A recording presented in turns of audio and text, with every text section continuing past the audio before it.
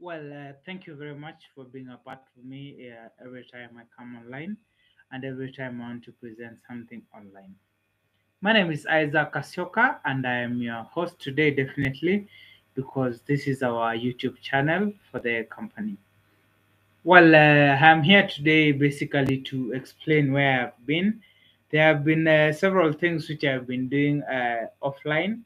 For example, I had arranged for a certain meeting which I attended last week. That was uh, Emerging Leaders Foundation, uh, specifically for the Good Polit- Politician Project. So I attended the project, I attended the training, and now I'm here. So the week which is ending today, also I have been away, and uh, since Monday I come here with uh, bad news, or rather news which are not very very interesting to people. I was hospitalized. I was uh, admitted at KNH for the entire week, but now everything is okay. I am healed and I am here. Well, uh, there are a couple of things which I have learned ever since I went to the hospital, and uh, to be honest with you, I have learned the the need, or rather the the, the, the good things with uh, appreciating life itself, because I saw very bad things at the hospital. Also, please note that uh, this uh, session is not uh, pre-recorded, rather it is not written down to be narrated back. They are just memories which are playing right from my mind. And uh, last week, or rather this week, which is ending today, I learned that uh, it is really a gift to be alive. It is really something to be appreciative of, to be alive, because uh, many people wish they could have a good breath. Many people wish they could just smile around. Many people wish they could walk around. But uh, it has come to me a realization that that is not possible for many people and it is not something which should be taken for granted. For instance, uh, at the hospital, I know most of you are asking themselves, what was Kasyoka doing at the hospital? And I'll be very honest with you. Uh, several years ago, that is like uh, four or five years ago, I was uh, I was diagnosed with a very rare form of uh, chronic disease that is uh, multiple sclerosis. But finally, I had to schedule it to go to the hospital for medication, and I went to KNH, which is very, very, very, very accessible to me as of the moment for treatment of this disease. And uh, finally, now I'm okay. I'm taking my drugs, uh, and uh, there are things which I've learned. One of them is uh, we should appreciate life in entirety. because um, the ward which I was at, you could see people are struggling.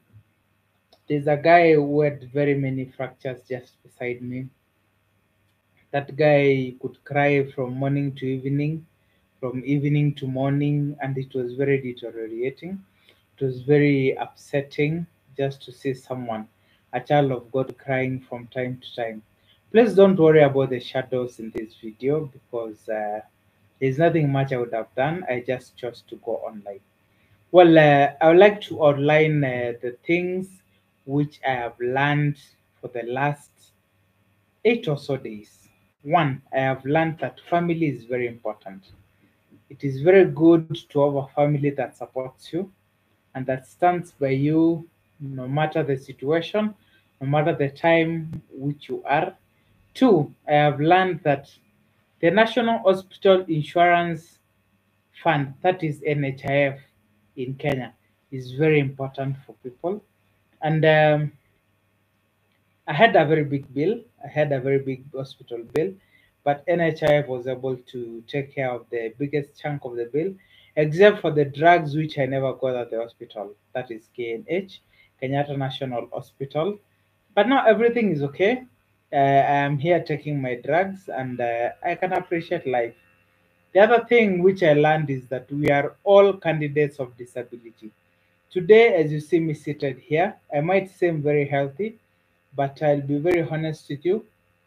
Uh, I am now officially a disabled person, I can say, because uh, MS, that is uh, multiple sclerosis, has uh, really got into my backbone, into my spinal cord, and it is unfortunate that I'm here.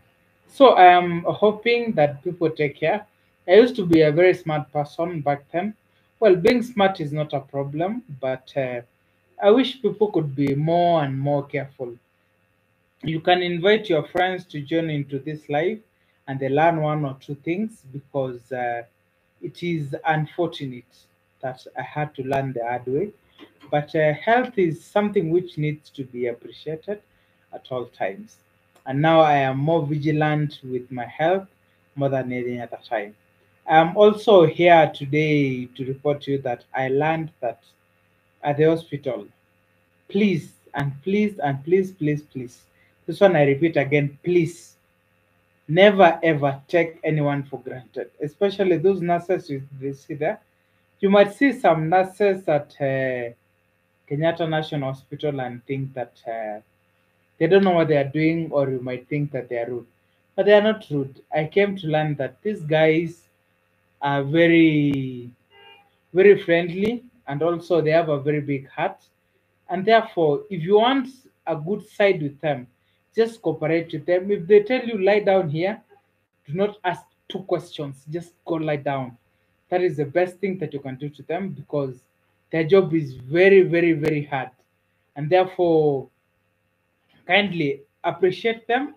And also, if it is possible, uh, just get them some tea and tell them thank you very much for taking care of me because for the entire five days which I was there, I was lying down on the bed and I didn't know the future. I didn't know if I would wake up and get back to the house. Right now, I'm in the house, I'm celebrating life, and I am waiting for my wife and child to come back to the house so that we can continue with life. But now, uh, let me ask you a question.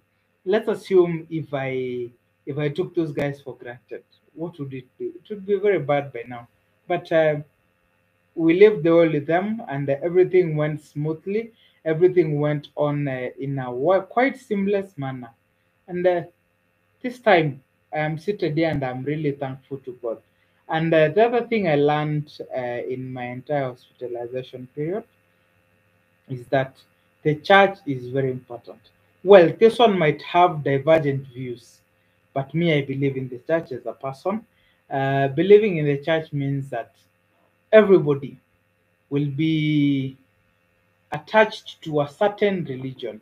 For example, when I got to Nairobi, or rather, ever since I got to be a grown up, I assimilated myself to Anglican Church of Kenya, that is SCK, and it is quite popular among uh, many many Kenyans, especially people who live in the central parts of the of the country, that is Kikuyu, uh, Kiambu, Thika Road, it is very popular and uh, it is very good to assimilate yourself to church.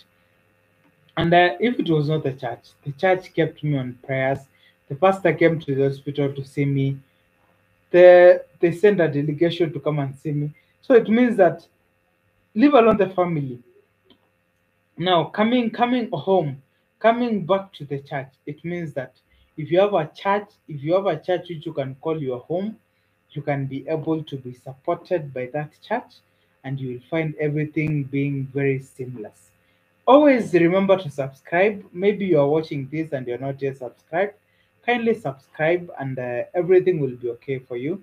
And uh, finally, or rather, not even finally, there's a lot I can say about the experience I had last week. First and foremost, I never posted any video because I was away. Um, I came to realize that being being a person being a person, uh, a body gets tired at some point, and uh, coming to realize that a body gets tired, I realized it through the quote unquote the hard way because uh, my body was wearing out.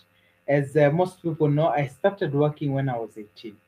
You can imagine working from 18 up to right now, I am uh, around 28, 29, 30.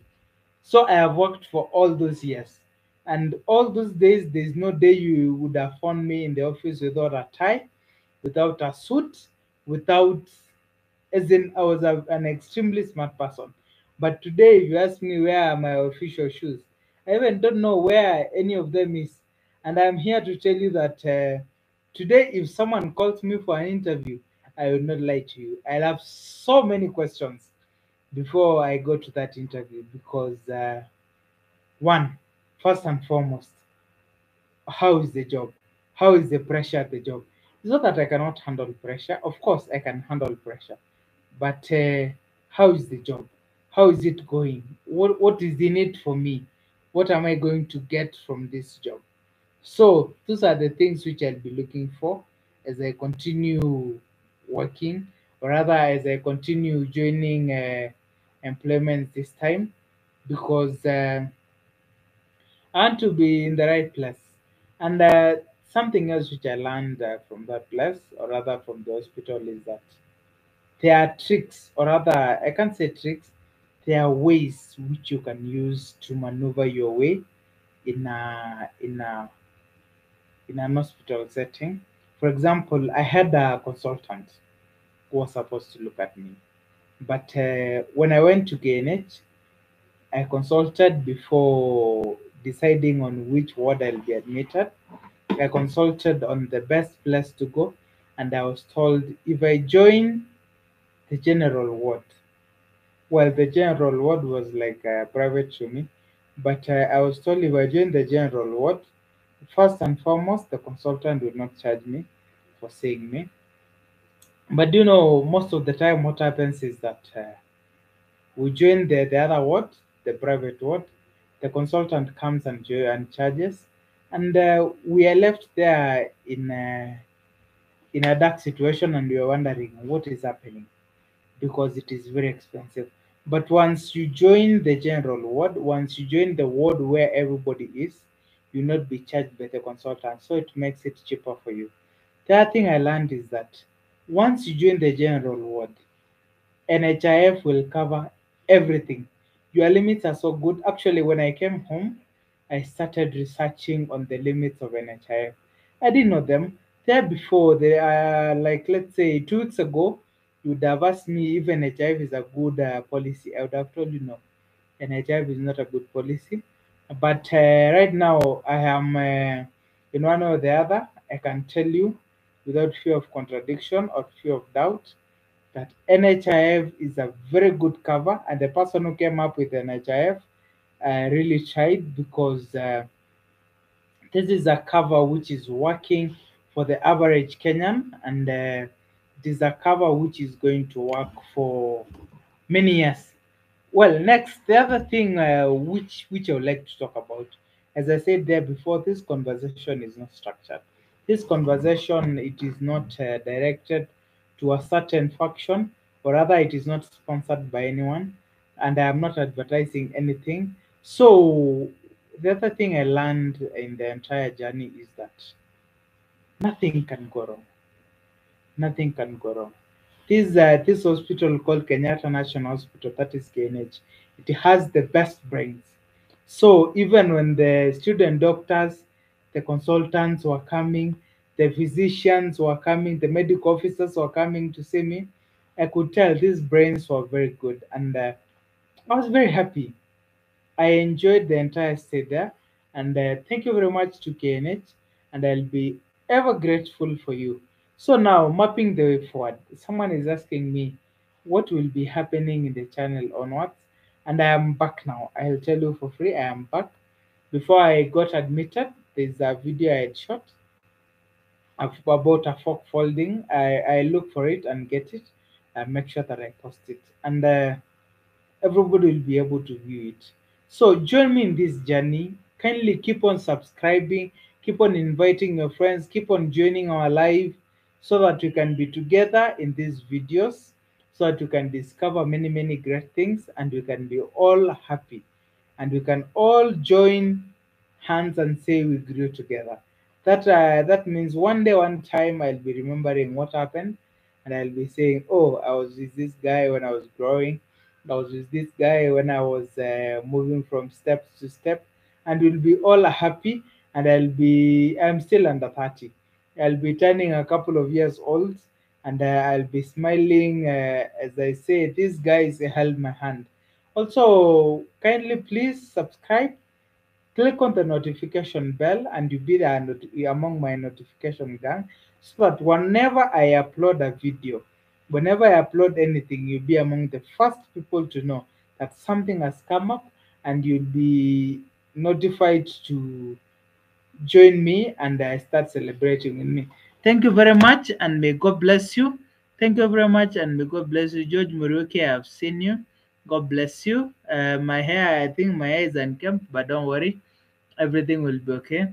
Thank you very much. God bless you and uh, see you another time. Thank you.